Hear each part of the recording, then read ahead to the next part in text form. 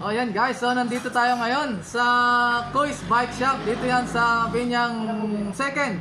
Yan, Binyang Second, Bukawi, Bulacan. So mag-unbox tayo ng ah, ano to? Ang laki ng kahon guys. So, tingnan mo naman oh. Laki. Munting, di, munting na di magkasya sa camera natin. Mag-unbox tayo ngayon ng ah, SRAM. SRAM NX Eagle. Ayan, so Eagle, lilipad ka dito pag ginamit mo to. So, hindi ako nagkakamali. 1x12 to guys. Yan. So, bago ta simulan natin yung ah, unboxing guys, ah, pa-subscribe, ay pa-subscribe, pa-support ng aking YouTube channel guys. Ah, do, please don't skip the ads para magkaroon tayo ng revenue at magkaroon tayo ng bike check na pambili ng GoPro para ma-improve pa natin yung ating video quality ng ating pagba-bike check unboxing and etc. Ayan. So wala na tayong intro-intro dahil hindi naman ako sanay gumawa ng intro. Sa mga sanay dyan, ayan, oh, maka naman, message nyo lang ako. Ayan, oh. So unbox na natin to. Napakaganda talaga nito. Ayan, kita-kita nyo, oh.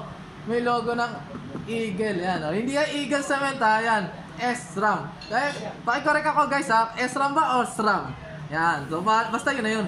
Mahalaga tama yung spelling. Ayan. So syempre, ang laki, oh. Ayan. So sa taas, taas to top, top view. Sa top view merong SRAM NX. Tapos ang laki ng Eagle na logo. Kita mo, oh, yan oh. Laki, di ba? Yan. Then dito sa harap, start with 1. Ayan, may nakikita niyo ba guys? Start with 1. So, sabi eh, 1 by, 1, by 12, kaya nakalagay siguro start with 1. Dito naman, sa gilid, apakasimple ng design ng box niya guys. SRAM, tapos NX, then maliit na logo ng Eagle. Sa likod, eto, ito yung laman ng kahon. Ang laman ng kahon ay uh, pinagpalit sa... Hindi, joke lang yun. Yan. SRAM, ah, mayroon tong cogs, RD, kadena, ah, crankset, tapos shifter. Ayan, mamaya papakita ko yung loob nito. Tapos sa gilid, SRAM NX, tapos siguro it's ah, made in Taiwan, AM NX Eagle Dub 175 root set. So siguro 175 yung crank arm nito. Ayan, sa ilalim wala. Ayan, so tara, buksan na natin to. Ayan, oh. Paano ba binubuksan to? Ayan. So, pagbukas mo, syempre, mayroong foam. Ayan. Oh, may sumisilip, oh. So, foam. So, isa-isahin natin. Ayan. O, di ba? So, meron dito, ano to? Trigger clamp. Ah, yung clamp ng ano, shifter. Ayan, yung, yung shifter clamp para ilagay sa handlebar. Tapos, manual. Ayan, manual. Ah, manual ulit. Dalawang manual. Tapos, ah, ito, to, to, to. Yung kadena niya. Ayan, bubuksan natin niya mamaya. Ayan. Kadena. Tapos, ito, shifter. Ayan, meron tayong shifter dito. NX. And NX, SRAM NX. Tapos, kunin natin tong uh, hollow tech na crank. So, yung plastic, andun yung ano niya, bushing or spacer. So, ito yung crank arm niya guys. So, ooh, may lagusan sa kabilang mundo. Ayan, oo, di ba? Mamaya, bibigay ko sa inyo yung specification nito guys. Unbox lang muna natin. Ayan. So, yun yung first layer. So, wala na. Punta tayo tayo sa second layer o sa second floor. Oh, di ba? Wala nang laman. Punta tayo sa second floor. So, check natin. So, ito yung ano, sahig na second floor. Ayan. Yun oh, kita nyo ba guys? Ang ganda oh, oh di ba? Ganda. Ano makukuha natin dito? Dito tayo sa kulay puti. Itong kulay puti na to. Ayan. Para sa kaya itong puti na to? Basahin natin. Adjust in second gear and sag. Ah, siguro pang adjust to. Guide. Pang guide siguro to. Ayan. Tapos, ito. Kunin natin to. Nakakita niyo ba guys? Oh! Ito yung ano, shifter. RD, RD. Ayan. Mamaya. Ano natin to? Ibigay kay specs. So, pagkatapos ng RD, ito na. Itong ah, pinaka-chain. Chain ring niya. Ayan. So, hindi ako nagkakamali, 32. O, tama, 32 ako. Ayan, ang galing na natin manghula, guys. Experience lang. Matututo tayo manghula niyan. Biglang ganun, ano? So, mga gusto magpahula dyan, message nyo lang ako. Hindi, joke lang. Yan. So, sa third layer na tayo. nasa third floor na tayo. Ayan. So ito yung, ito yung ano, side ng third floor. So kunin natin yung pinaka main event. Ang pinaka main event natin. Okay, syempre, ano pa yung pin- ah, main event natin? Oh, ayan, oh. Nakikita niyo ba, guys? Oh. Kunin natin yung tags. Uy, ayaw. Ayaw. Ah, ayun guys, nahirapan ako na ilabas yung tags dito. Ayan. So pag natanggal mo yon, magiging tatlong piraso. Ito yung una mo matatanggal. Itong pinaka-lock niya. Ayan. Tapos pagka tanggal mo nito, makukuha mo itong malaki. Ayan. So mapapansin mo, wala pa. So yun yung pangatlong part. Ito. Ayan. Ayan o. Kita niyo ba? Nakikita niyo guys. Ayan. So alamin natin yung specs ng mga parts na makukuha. Ayan guys, ah, yan, isa-isahin uli natin. Medyo nahirapan ako dito sa cogs na to. Ayan oh. Ganda, di ba guys oh? Oh. Medyo nahirapan akong kunin. Ayan. So since hawak ko na to, ah, cogs niya SRAM Eagle 11 to 50 teeth. Kung ako nagkakamali. Na 12 speed. 11 to 50 ah teeth. Tapos may mga nakasulat nga pala dyan na NM. O yung Newton meter yata yun, ako nagkakamali guys. Para sa mga gumagamit ng ah, ah, torque wrench. So napakahalaga nun. Para hindi sobrang ipit at hindi rin naman sobrang ah, gaang. Ayan. So nan again guys, 11 to 50 teeth. Yung kanyang cogs, laki nito, promise. Ang ganda nito. All black to guys. O yun, yung ah gimbal natin oh, naglolo ko. Ah, ayaw, ayaw. Ayan, mukhang malolobat na yata tayo yung gimbal. Pero tuloy tayo. Ayan, ganda talaga nito guys.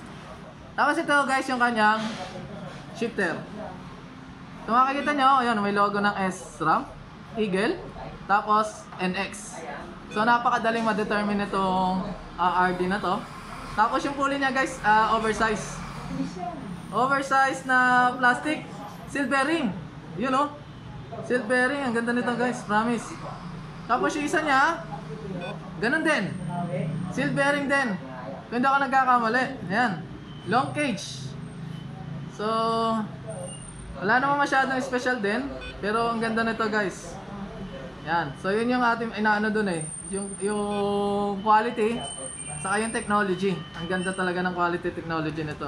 Ayan. So yan. Wala siyang adjustment ng spring. Yan. Next. Etong shifter.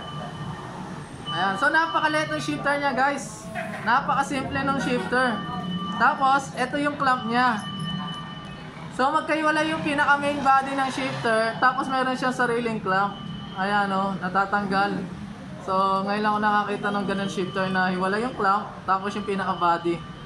Ayan, nakalagay guys sa Eagle Technology. Ayan, so wala pa siya ah, cable housing. Bibili ka na lang ng cable housing. So ito yung pinaka ah, niya oh. Dito, oh. ito yung isa, ito yung isa. Tapos ito yung isang ah, ayaw. Ayan, pataas lang siya.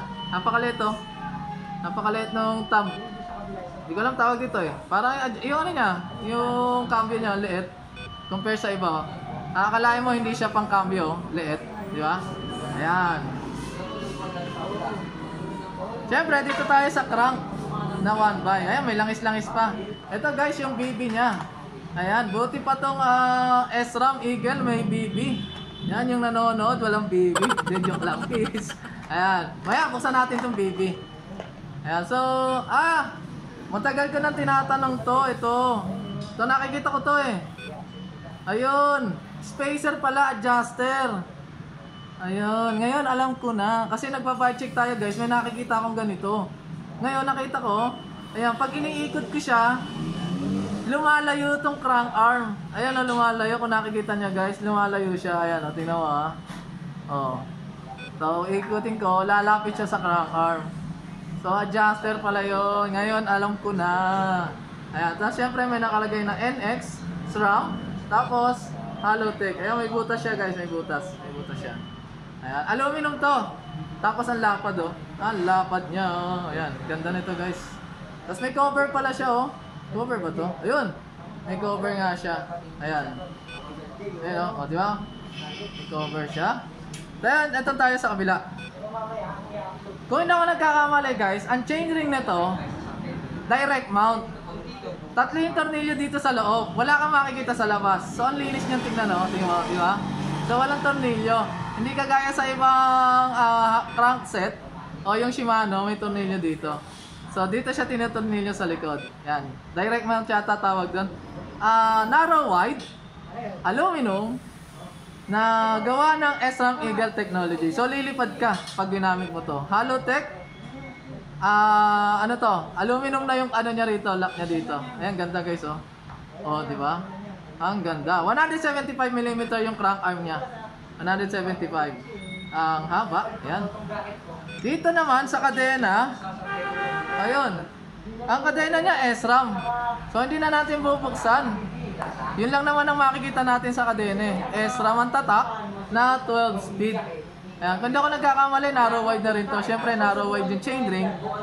Kaya yung kadena, malamang narrow wide na rin yan. Ayan, oh.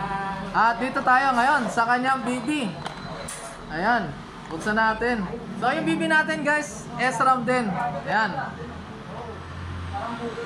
Siyempre, may manual. Palagi naman yan. So, magbabasa muna kayo ng manual para alam ninyo kung ano yung gagawin ninyo. Tapos, meron siya rito extra.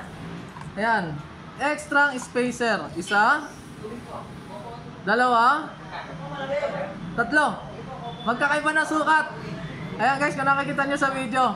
Magkakaiba na sukat yung spacer. O, di ba? Tapos, dito sa pinaka-bottom bracket o yung BB, yung BB ni SRAM, may dalawang spacer. Ayan. Ah, turo sa akin. Sabi sa akin ha. Ah, maganda daw dalawa spacer dun sa may chain ring. Kapag one by. Depende daw kasi kung ano yung chain ring na gagamitin eh.